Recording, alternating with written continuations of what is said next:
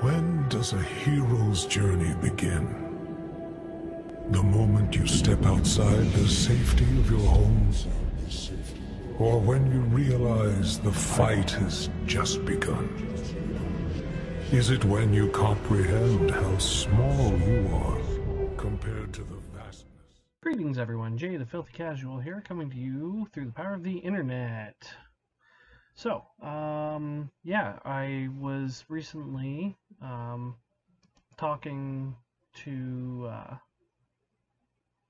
a few friends, and I wanted to, uh, you know, bring it up that uh, I was having issues with a item um, from Presstine Marketing. I'm going to bring it up here.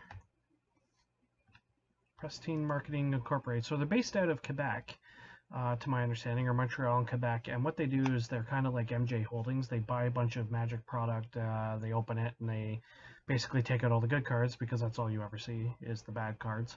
And they repack it and they market it as a quote premium repacked product. Now, today, for uh, sake of argument, um, I basically had purchased one of these, which comes with 15 cards. And it specifically states on the front here, one rare included. Um, out of six packs, I only got two rares. Now, in the many, many years I've been buying these, I've purchased a lot. Um, mostly because, you know, they're there, they're handy. I don't mind getting commons and uncommons and the odd rare because generally I can get 80 cents a rare for bulk value. So, you know, it pays for itself, not mentioning uh, pauper staples or, you know, stuff that could be of value. However, I went through every one of the cards in all the four packs that didn't have rares, and not one of them was worth anything. Generally, sometimes you'll get like uh, a $3 common or whatever, they'll throw it in as the rare, but in this case, not one. Now, I have seen instances of where instead of the rare or the money common or uncommon, they throw in a foil as the rare, because, you know, rarity speaking, it's harder to find a foil than, you know, a regular common. So, you know, in that instance.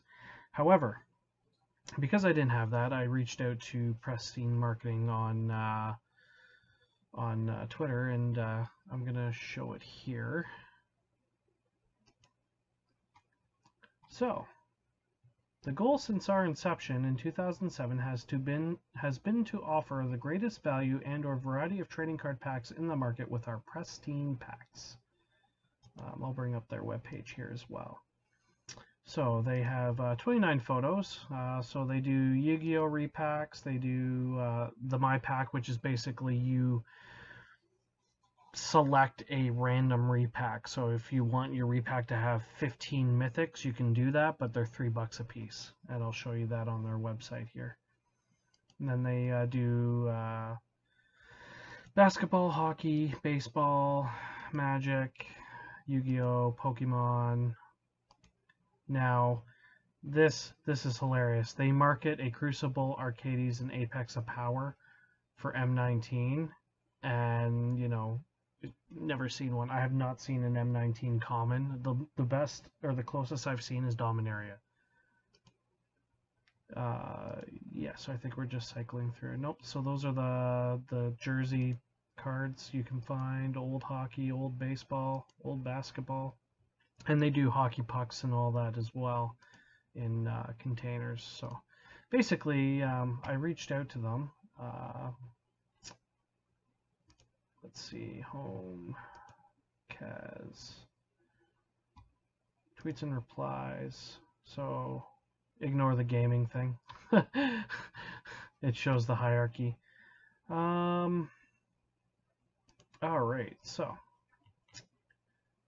I purchased six of your repacks today for shits and giggles, and three of six contain no rare foil. Um, and then I showed the pictures, and you can see here not one rare icon.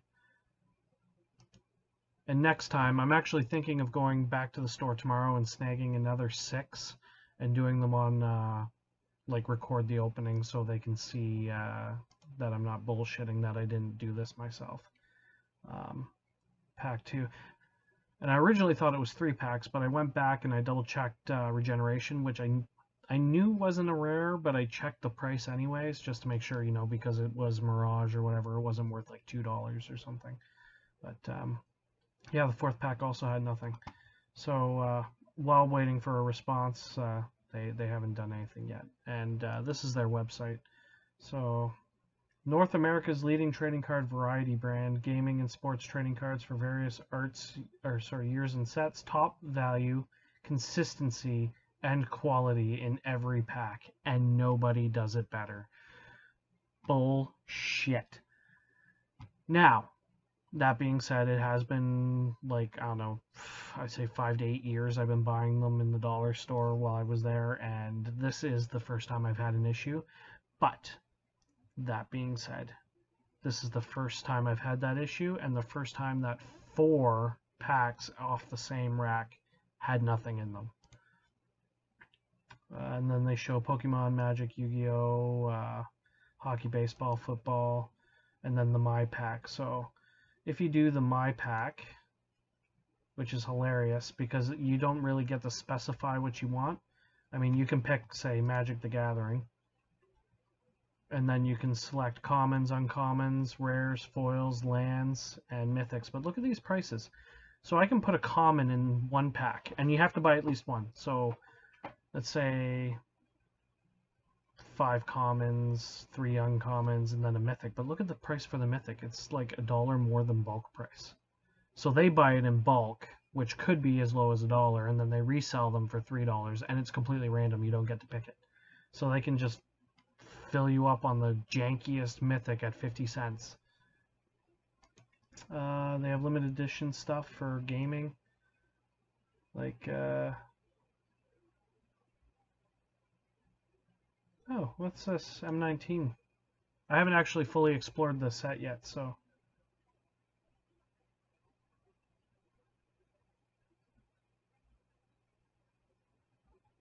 Interesting.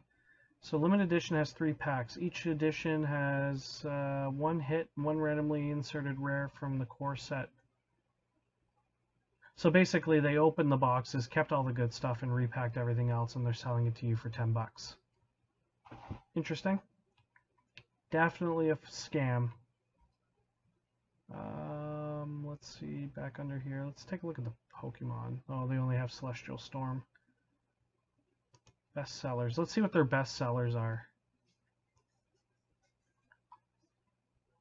One mythic, four ninety nine. Twenty card pack, a dollar fifty nine. So I get a fifteen card back pack for a buck fifty. But uh, yeah, so uh, that's that. So yeah, I'm waiting to hear back from uh, from them, and I'll see where it goes. I'm Jay, the Filthy Casual, former Knight of the Roundtable, and member of the Phoenix Syndicate. Thank you for watching. If you like this video and would like to see more like it, click the like button and subscribe. To be notified, don't forget the bell, because we all know YouTube won't do it. If you would like to support the cause further, you can donate at the links below. And I would like to thank the current supporters because without you, this wouldn't be possible. And remember to support your local game store, as they are the brick and mortar of the games community. I'm Jay the Filthy Casual, and thanks for stopping by.